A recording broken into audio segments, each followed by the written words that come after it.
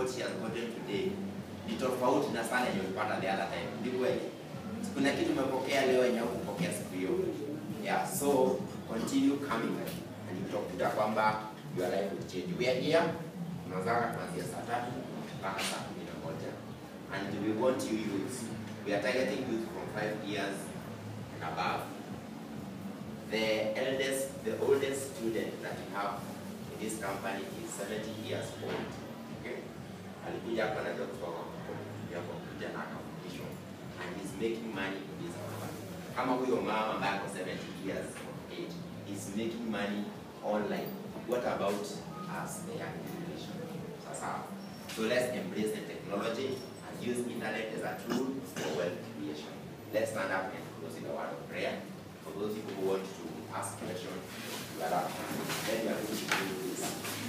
First of all, take this and First.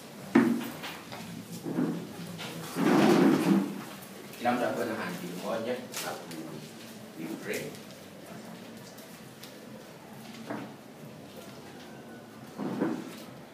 Everybody must have a handbill, nine hand.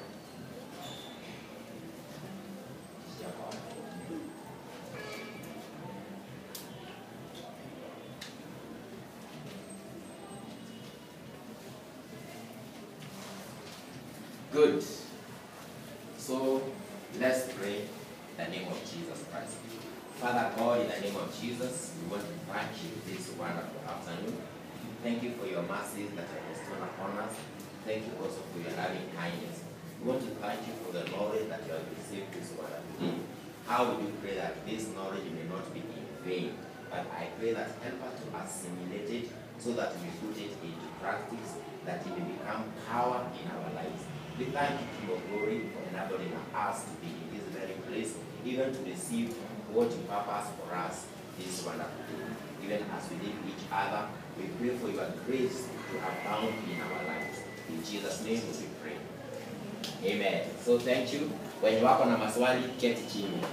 Kama unasikia kuondoka, utaondoka. Mwenye anataka kufungua Gmail account, enda upange fursa, ukae pale Twitter lead, okay? So mwenye hapa na swali, this time had a question, just sit down.